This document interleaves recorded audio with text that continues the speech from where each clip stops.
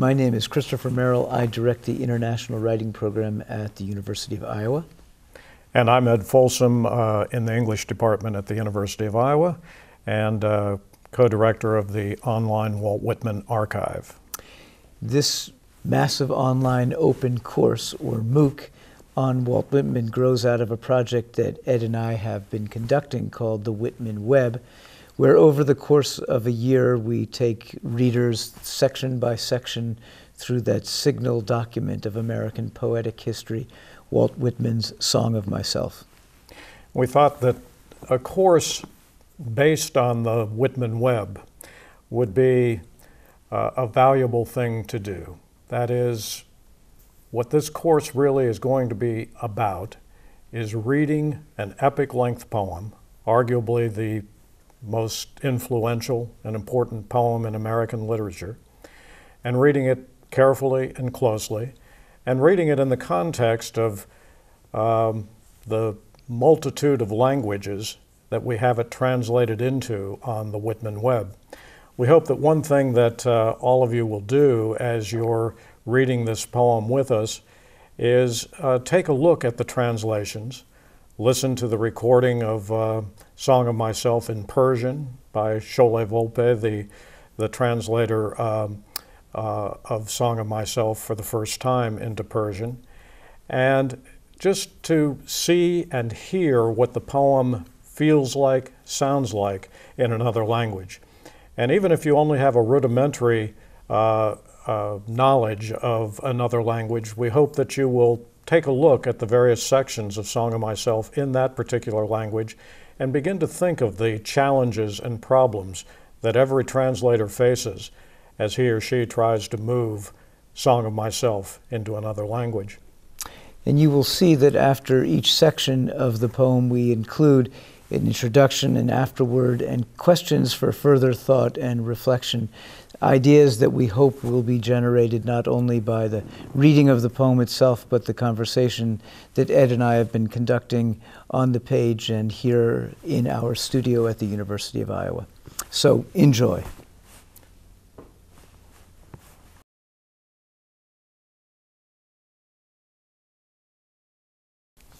For this course, we have assembled a number of online resources which we hope you will take advantage of and explore, the most important of which is the Whitman Archive, uh, co-founded by Ed Folsom and his colleagues at the University of Virginia and the University of Nebraska.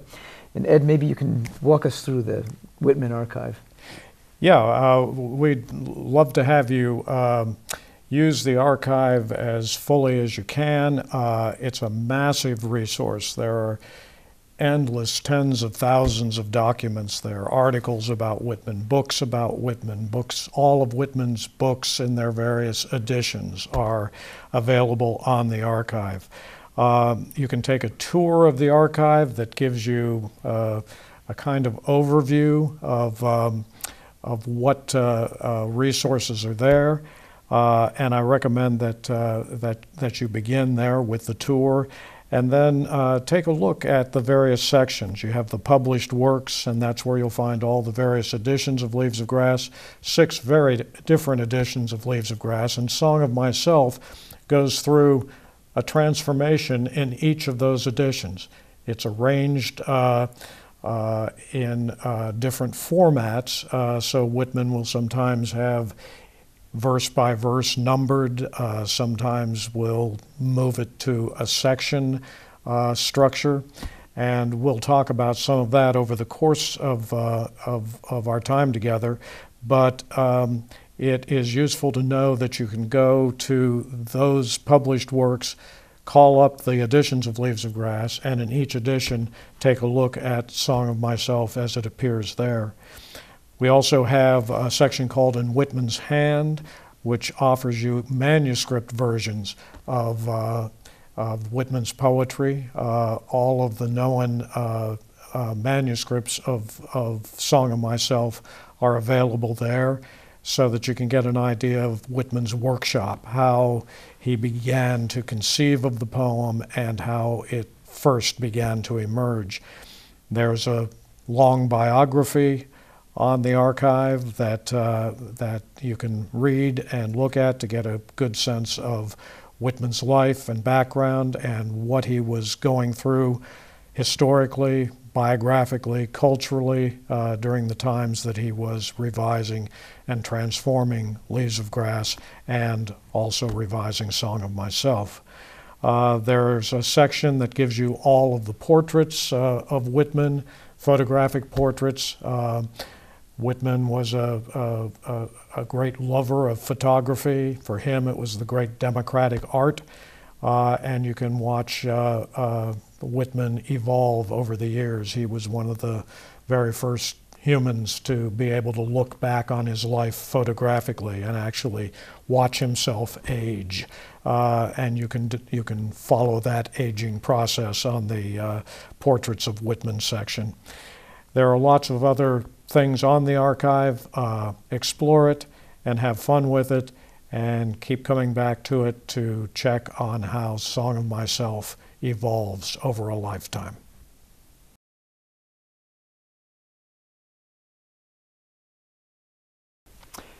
A word about the structure and the evolution of this course, which, as we have said, came out of our work on the Whitman Web, the exploration that Ed and I have made of Whitman's Song of Myself. We recorded over the course of several days a series of conversations, and just as Whitman wrote the first drafts of Song of Myself in a flush in 1854, 1855, and then spent the rest of his life revising, extending, rethinking what the poem might be all about, we have found ourselves coming back to our conversations and thinking, well, we might want to revise that, extend that. It, our thought processes seem to be evolving, don't they? They do, and and and I, I like the analogy with Whitman's poem. Uh, because Song of Myself originally was just one long, unbroken flow.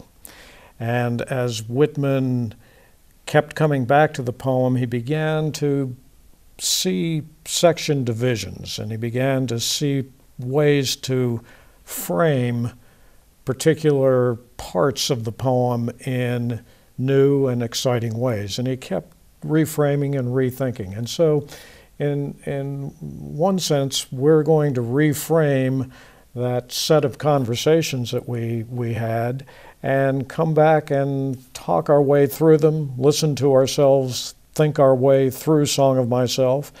And we hope that uh, what you'll find in watching this set of classroom sessions is that um, uh, you'll see a little something different in the ways the conversations initially took place, and then we think through them again. It's that long process of coming to grips with a really complex poem. This is one of the ways that we know we're in the presence of a great poem, isn't it? That we keep coming back to it and thinking that we are seeing it anew, because, in fact, as Whitman would tell us, we are seeing it anew. Exactly.